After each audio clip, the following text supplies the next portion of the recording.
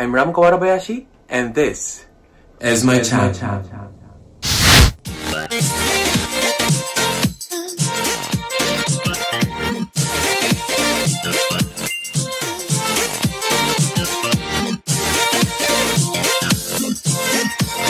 Good morning. So we are walking toward um, Kotoko Inn to see the Big Buddha. Yes. Ayun nga guys, medyo napaaga nga kami nadating. Parang ang, tulad yung sinabi ko kanina, ang opening ng shrine is 8 o'clock and it's just Hala, wait lang. eh, 7.51. 7.51. So, maghintay kami ng 9 minutes pero okay lang. And may entrance siya. So, later, i-update ko kayo kung magkano and ano ba yung mga dapat bayaran or parang something. So, yung premises mismo, walang parking lot but sa paligid niya meron. And medyo mura lang naman yung parking lot, no? Hmm. 300. So, yeah. Ayan. I'll see you guys later. Kita niyo guys, ang daming squirrel na tas nasa may ano lang siya, almost nasa entrance lang siya nung ah, Great Buddha Hall.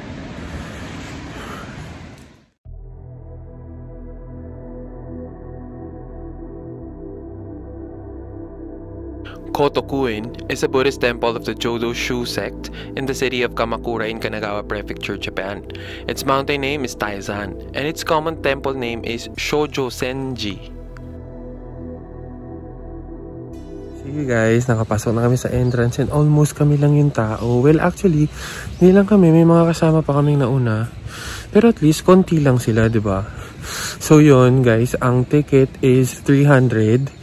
8 o'clock yung bukas ng shrine and then yung mga gift shop is um 8.30. So yeah, ayun lang. Ready na ba kayo makita si Big Buddha? Well, hindi ko na pa. Ito na siya. The temple is renowned for the Great Buddha of Kamakura, a monumental outdoor bronze statue of Amitabha, which is one of the most famous icons in Japan. It is also a designated national treasure and one of the 22 historic sites included in Kamakura's proposal for inclusion in UNESCO's World Heritage Sites. It measures 13.35 meters tall and weighs approximately 93 tons. According to temple records, the statue dates from around 1252 during the Kamakura period, which it is named after.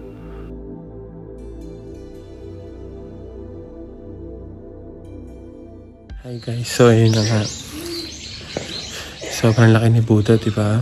So syempre, malaki rin dapat ang Chinelas niya. um, before, um, pwede kang pumasok dun sa uh, loob ni Buddha to. Ngayon, hindi ata siya pwede kasi parang nire-renovate ata yung loob niya. So, ayun lang. Sayang. Ito yung entrance, oh. Ayan. So, hindi siya pwede ngayon. So, yeah. Nakasarado. And, yung likod ni Buddha. Ayun yung bintana and then yeah.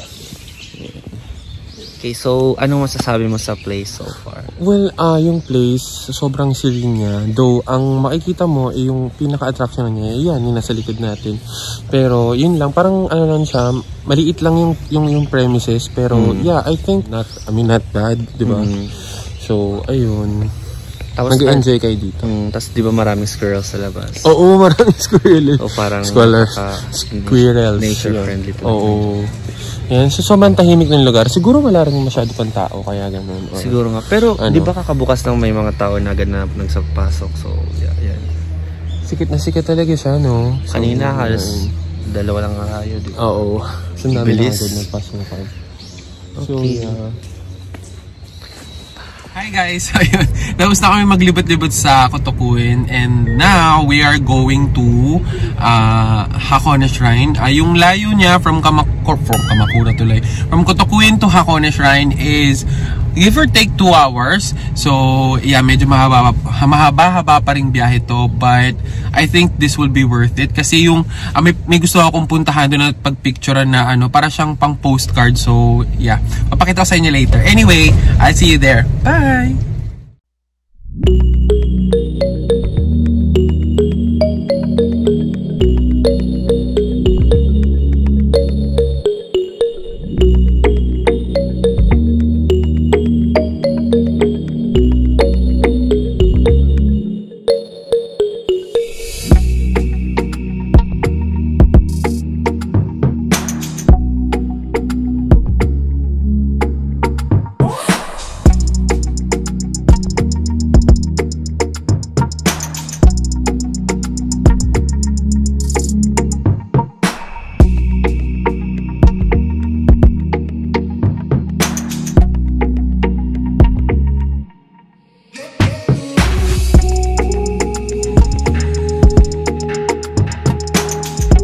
Guys, ayun, we've just arrived sa place. Ah, ayun, nakita niyo naman, medyo makulimlim.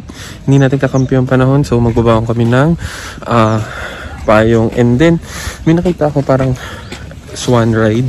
Ayan, so bali, 1,000 for 30 minutes.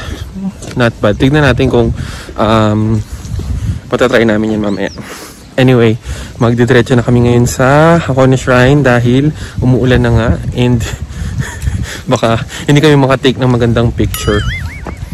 Kamusta yung pagdadrive kanina? Nakita mo, no? Oo, delikado talaga yung... May masasabi ka ba, ano ba, ba parang tip Ayun. para sa pagdadrive? Ayun nga, bagalan nyo po tsaka mag-ingat po kayo sa pagliko-liko. Lalo na minsan may mga nakasalubong kasi na parang mabilis mag-drive. Ayun. Ayun lang. Siyempre, safety first. Para mas mag-enjoy tayo sa ating gala. Hakone Shrine is a Japanese Shinto shrine on the shores of Lake Ashi in the town of Hakone in the Ashigarashimo district of Kanagawa Prefecture. It is also known as the Hakone Gongen. According to shrine tradition, Hakone Jinja was founded in 757 during the reign of Emperor Kosho. The original shrine was at the summit of the Kumagatake peak of Mount Hakone. The shrine was relocated to the shores of Lake Ashi on 1667. Shrine was also burned down by the forces of Toyotomi Hideyoshi during the Battle of Odawara, but it was reconstructed by Tokugawa Ieyasu and given a grant of 200 koku of revenue.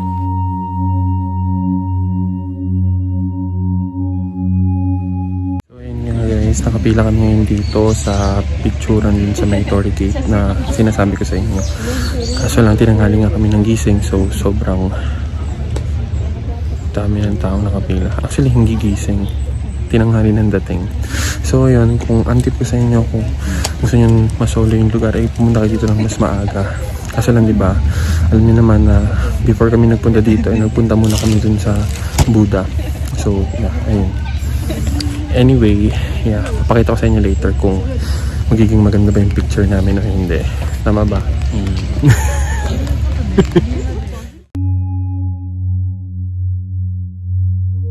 Standing tall on the shores of Lake Ashi is the Torii of Peace, or more commonly known as the Floating Red Gate of Peace, which is really popular amongst tourists because of the picturesque scenery. And if I may add, my favorite spot, Hinakone Shrine.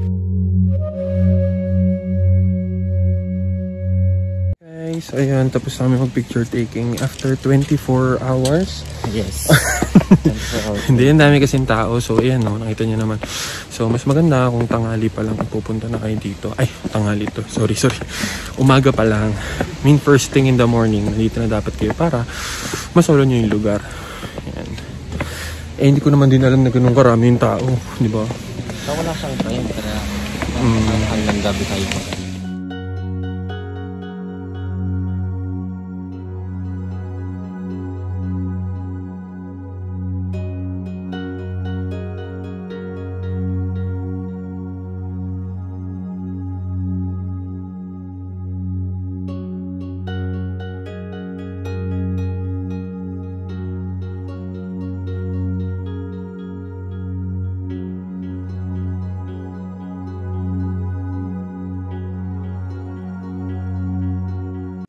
Na nga guys. To get to the shrine, you have to take like uh, a thousand stairs. Nakita nyo naman kanina, di ba, ang taas. Parang papunta sa bahay ni Master Jeremiah. Pero, pero yun na nga. Well, nandito na rin naman tayo. So, I think this will be worth it na rin naman. So, ayun nga, kanina, uh, may sasabihin ka about dun sa may ano, Torii Gates. Ah, doon sa picture. Right? Oo. Oo, yung kapag ano, kaya ng madaling araw, mas maganda siguro. Maaga talaga, maaga talagang pumunta para yun nga, masolo nga yung place. Tsaka makatake tayo ng magandang pictures. Kasi pag nakapila, parang syempre, lalo na tayo mga Pinoy, parang nahihiya minsan. Namamadali tayo yung pictures. Ayun, wala, ending, walang magandang pictures na nakukuha. Kaya parang sayang yung effort, Effort. ng pagpunta. Oo, no? sayang time niya. Yun lang. Throughout history, the shrine was worshipped by warriors, as it was considered to bring luck in battles. Today, the shrine is said to bring luck in household safety and safe childbirth.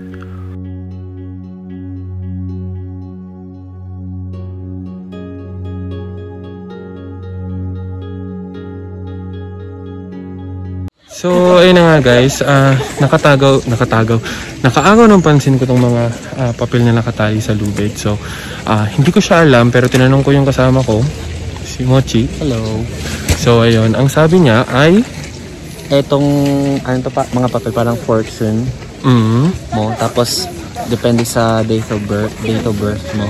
mm, Tapos kapag lucky, tama ba? Kapag lucky siya, mm, tata itat itatali mo siya. Kapag para magkatotoo, Oo. ganun. Mm. Pag unlucky. Huwag mo itatali kasi baka magkatotoo yun kahit, mm, naku. Ayun lang guys.